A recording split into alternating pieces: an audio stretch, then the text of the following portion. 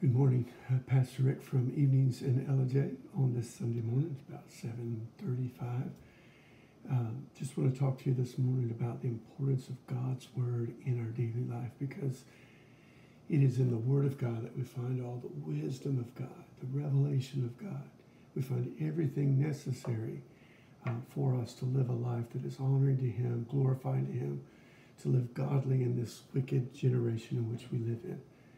Um, that's why it's so important for us to read our Bibles, study our Bibles, attend Sunday school classes, church, hear preaching, because Romans 10 17 says, faith cometh by hearing, hearing by the word of God.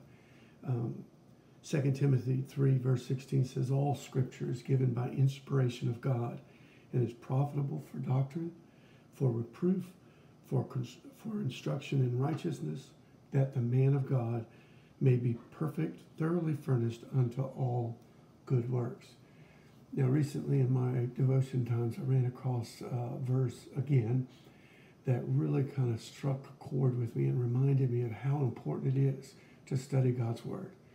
If we fail to study God's Word, we will not know God because He reveals Himself in His Word. Um, we won't know the promises of God for our life. We won't know the instructions from God's word so that we might know how to live uh, a, a, godly life in a crazy world we live in. We know 2 Peter 1 3 says that he's given all things that pertain to life and godliness through the knowledge of him. And how do we get to know him? Again, through his word. Um, this was sparked from Psalm 119, verse 65, that says this Thou hast, already done, dealt well with thy servants, O Lord according to thy word. God is dealing with us well as his servants, and he's dealing with us according to his word. And so it's important for us if we are going to be confident in God's movement in our life, God's work in our life, God's assignments for our life, um, uh, what God would have us think and be and do we need to be in His Word because He's already dealt there with us uh, well. And so it's important for us. And so I, I would encourage you to reserve, uh, return to receiving the Word of God. Um, um, we're told in James 1.21 that we're to lay apart all filthiness and superfluity of naughtiness. That means super abundance of badness or wickedness and that we are to receive with meekness, and that's humility, the engrafted word which is able to save your soul. Very important to know, right?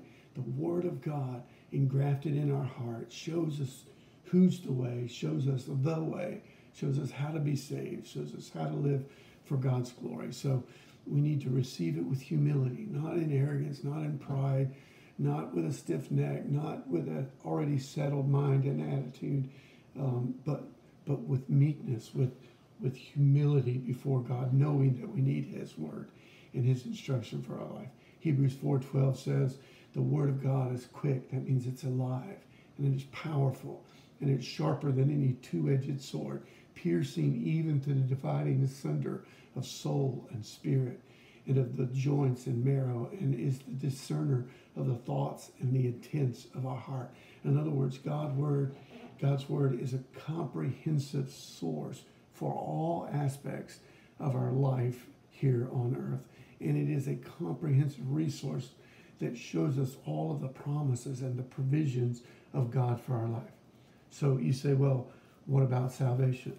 Let me read to you what Psalm 119, verse 41 says. It says this let thy mercies come unto us, unto me, O Lord, even thy salvation, according to thy word.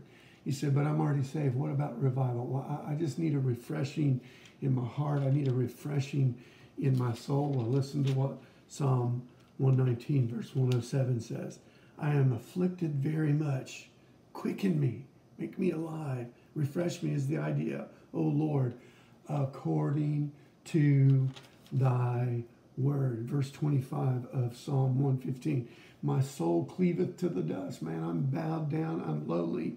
I need a refreshing. Quicken me, thou according to thy word. Do you need understanding in your life? Well, Psalm 119, verse 69 says this it says, Thou art good and thou doest good. Teach me thy statutes. Your life in a turmoil. Psalm 119, verse 6 says, Let, I pray thee, thy merciful kindness be for me a comfort according to thy word unto thy servant. You get the theme, right? You need comfort, you need peace, you need consolation in tumultuous times. Turn to God's word because he's the one who will be merciful and kind, giving comfort according to his word. Is your soul overwhelmed? Look at Psalm 119, verse 28. My soul melteth for heaviness, it says. Strengthen thou me according to thy word. You sinking into despair in your life? Psalm 119, verse uh, number 116 says this.